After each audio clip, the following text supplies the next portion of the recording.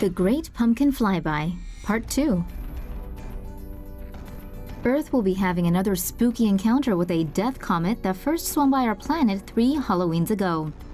Asteroid 2015 TB145 is a skull like space rock that came within 310,000 miles of Earth on October 31, 2015. Dubbed the Great Pumpkin by NASA, the asteroid is set to once again pass by our planet on November 11th, but at a much farther distance of 24 million miles.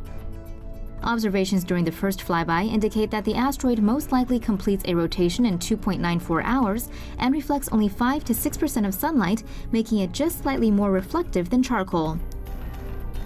Astronomers think the asteroid may be an extinct comet that lost its water and other volatile compounds after numerous orbits around the Sun. Though the second approach may not be as favorable as the first in terms of distance, scientists say they will still be able to observe and obtain new data on the spooky space rock. Speaking of spooky, Haunted doll attacks couple, gets sold on eBay and strikes again. Do you believe in curses and ghosts? How about demonic spirits taking over human hosts? If you do happen to take reported incidents of paranormal activity to heart, you might want to grab your Ghostbuster Proton packs, because the series of eerie events that have been following a seemingly harmless looking China doll in the UK are freaking people out left and right. Debbie Merrick purchased the doll back in late June from a secondhand store for 5 quid, but she apparently had no idea what she bargained for. She and her husband Cameron claimed the doll attacked him in his sleep by leaving mysterious scratch marks on the back of his leg. Debbie claims she's found the doll in different spots, and not only does she think it can move, she's convinced it took its own necklace off, in the box. Having had enough, Debbie stuffed the doll in a box, taped it shut, and threw it up for auction on eBay, then threw it in the shed until shipping it to the next owner far away from her. Enter Lee Steer, a paranormal investigator who just needed to know what the deal with this creepy doll was. So much so that he snagged the doll with a winning bid of 866 pounds. A mere two days after the doll came into his possession, Lee's father claims he also found scratch marks under his arm that are apparently freakishly similar to the ones on Debbie Merrick's husband's arms. And that's not all. Lee and his parents claim lights in their home have been flickering. Strange noises are becoming more frequent, and things in the house have been turning up cracked, broken, or just moving on their own. You know, the usual. In any case, do you believe this doll is possessed by some evil spirit? Or does Debbie Merrick really know how to sell junk on eBay? A profit of 861 pounds ain't bad. Ghost photobombs girl's selfie. A teenage girl from Georgia got a tingle down her spine when she checked her photos from a recent fishing trip. According to a post by her mom on Facebook, 13 year old Haley Ogletree was taking a selfie last week when she was photobombed by a ghost. That's him, right there. Haley and her brother Colton had gone fishing with their grandparents to celebrate the boy's birthday. According to their mom, Colton caught the biggest fish like ever, so maybe the ghost was happy for him. Seems like the photobomb phantom appeared when Colton was packing the fishing tackle box back in the truck. Haley's mom said her son didn't notice anyone standing there and there was no other people around that day, so there couldn't possibly be any other explanation for how the man appeared in the photo. Huh? Could there? The photo has been shared thousands of times online and picked up by media around the world, but it's garnered divided opinions.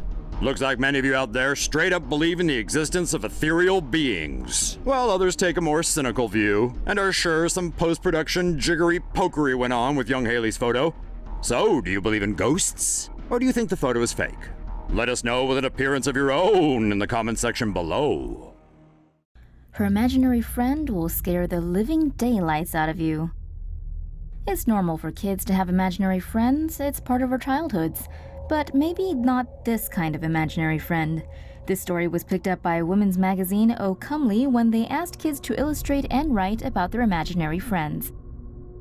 A girl named Ruby drew a picture of her imaginary friend Grateful, who has yellow eyelashes so she can see in the dark, and she has two babies in her belly. Huh, okay. Ruby said Grateful only visits her at night, which at first she was quite afraid of. Then, as Ruby got to know her special friend more, she began to enjoy the time they spent together. However, what's terrifying is the fact that Ruby said her imaginary friend is 14 years old but can never have a birthday. Well, we don't know what that means, but it sounds ominous and curse related. Twitter user Natalie Morales tweeted the picture of the drawing with the caption, Ruby, you have a ghost. This is straight up terrifying. And the Twitterverse agreed as the post instantly went viral and was retweeted more than 26,000 times. So, who wants a visit from Ruby's imaginary friend tonight?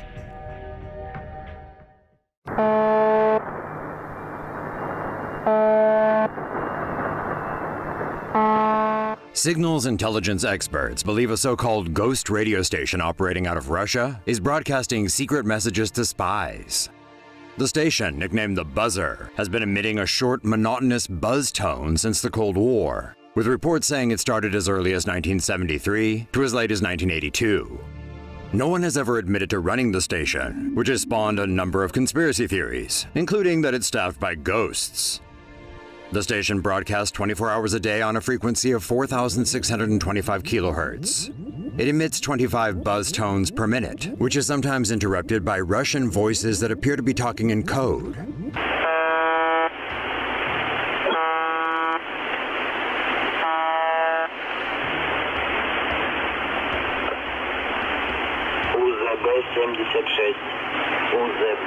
УЗБ-76, 93 882 на имена 74 14 35 74.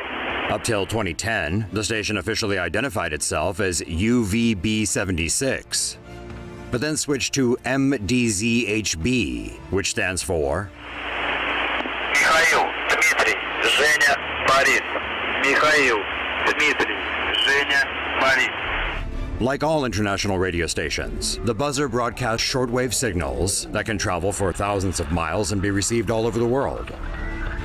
Some have speculated that the station is programmed to retaliate if Russia is ever hit by a nuclear attack. But experts have ruled that theory out for technical reasons. Instead, they say the station is probably a tool to communicate in times of crisis, like, say, a war, with Russian spies overseas and military personnel stationed in remote areas.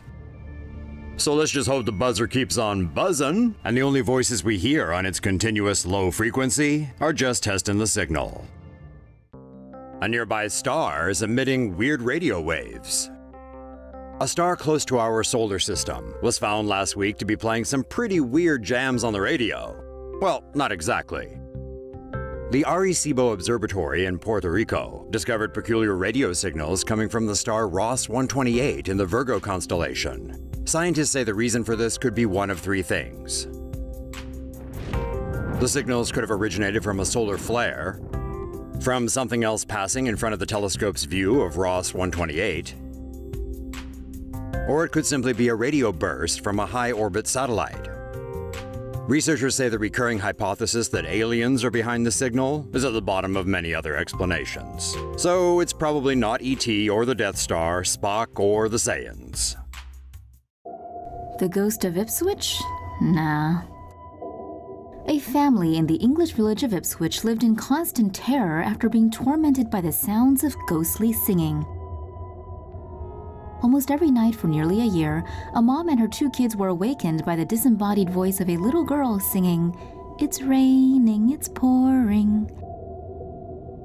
When the singing didn't stop, the woman reached out to the local town council. They found it difficult to believe, but nevertheless asked her to contact them if it happens again. So, when the song started up around midnight on September 12th, she called the council, and together they traced the eerie music to an industrial building, being played through a loudspeaker.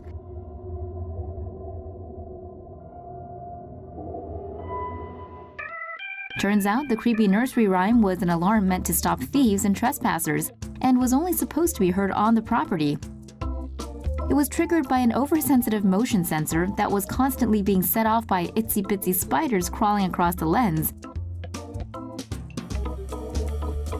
The site has since apologized for the disturbance and adjusted the volume, which means the poor woman and her kids can finally get a good night's rest.